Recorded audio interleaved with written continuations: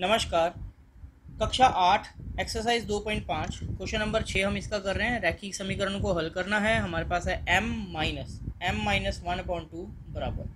One minus M minus two upon three आइए इसे हल करते हैं। सबसे पहले बच्चों, हमें इसमें क्या देखना है कि m वाली रकमें बराबर के एक तरफ़ ले आओ, बिना m वाली रकमें दूसरी तरफ़। इसमें आप देखिए, ये भी m वाली रकम है।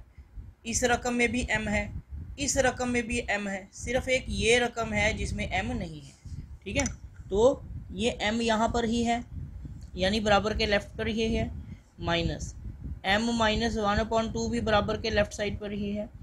ये माइनस है M minus two upon three लेकिन जब ये बराबर से इधर आएगा तो ये जो निशान माइनस का है, ये बन जाएगा प्लस ये बन गया M minus two upon three कई बच्चे सोचेंगे कि ये भी माइनस का प्लस होगा नो क्योंकि ये ये जो माइनस है, इस पूरी रकम के साथ था।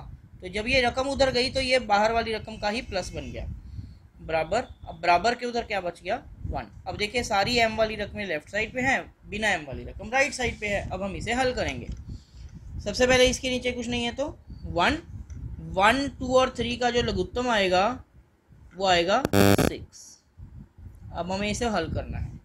आपने पिछले सवालों में भी ऐसा समझा है, दोबारा समझ लीजिए। एक, दो और तीन का लघुत्तम आया छः अब हम क्या करेंगे? छः को नीचे वाली हर से भाग करेंगे, जो आंसर आएगा उसको ऊपर गुना करेंगे। छः को वन से भाग किया तो आया छः छः को ऊपर एम से गुना किया तो हमारे पास आ गया छः आगे है माइनस तो माइनस। दोबारा देख लीजिए, ये जो माइनस है, ये इस पूरी रकम के साथ है, ठीक है? छः को दो से भाग किया, तीन। तीन ऊपर एम माइनस वन से गुना होगा। तीन ऊपर एम माइनस वन से गुना होगा। प्लस का निशान है तो प्लस छः को तीन से भाग करके आया दो, तीन दूनी छः तो छः को तीन से भाग करके आया दो दो ऊपर एम माइनस दो से गुना हो जाएगा।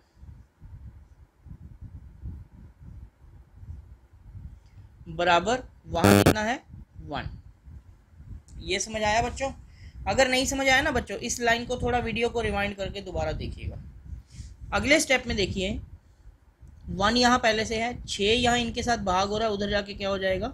गुना हो जाएगा। तो ये बटे वाला छः तो चला गया। बाकी जो बचा उसे हम हल करेंगे। देखिए कैसे। छः एम को लिखा छः एम माइनस तीन गुना एम हो गया, माइनस तीन एम माइनस इंटू माइनस हो गया, प्लस तीन एकम तीन। प्लस दो गुना एम होगा, plus two M plus into minus minus दो दुनी चार ये हमारे पास पूरी लाइन आ गई। अगले स्टेप में हम क्या करेंगे? एम वाली रकमें लेफ़्ट साइड पे छोड़ देंगे, बिना एम वाली रकमें उधर ले जाएँगे। तो राइट साइड पर देखिए यह है छः। लेफ़्ट साइड से बिना एम वाली रकमें उठाओ। यह है प्लस तीन, उधर आके हो गया माइनस तीन। यह है माइनस चार, उधर आके हो गया प्लस चार। इनके साथ एम नहीं था, इसलिए इनको उधर ले गए। यहाँ क्या बच गया?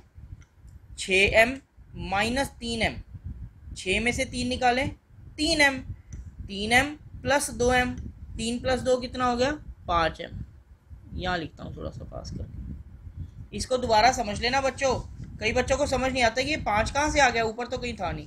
दोबारा देखिए। छः एम माइनस तीन एम छः में से तीन निकाले, तीन। तीन एम प्लस दो एम पाँच एम ये प्लस थ्री था, उधर जाके माइनस थ्री हो गया। ये माइनस चार था, उधर जाके प्लस चार हो गया। आइए इसे आगे हल करें। पाँच एम बराबर छः में से तीन माइनस किया, तीन तीन में चार प्लस किया, सात। तो ये आ गया सात। यहाँ से एम किसके बराबर आ जाएगा? सात यहाँ पहले से है। पाँच एम के साथ गुना हो रहा, उधर जाके हो जाएगा भाग। उधर जाके हो जाएगा भाग। तो देखिए, ये हमारे पास एक रैखिक समीकरण थी एम में, और हमने इसे हल करके एम का मान कितना निकाल दिया है? सात। बटा पाँच। कितना निकाल दिया है? सात बटा पाँच निकाल दिया है। और रैखिक समीकरण को हल करने का यही मतलब होता है कि जो भी चर है, चर थी एम एम का मान ज्ञात करो, वो हमने निकाल दिया आशा करता हूँ ये वीडियो आपको समझ आया होगा। यदि समझ आया तो इस वीडियो को लाइक ज़रूर कीजिएगा। आपके लाइक से ही हमें और मेहनत से वीडियोस बनाने का हौसला मिलता है। धन्यवाद।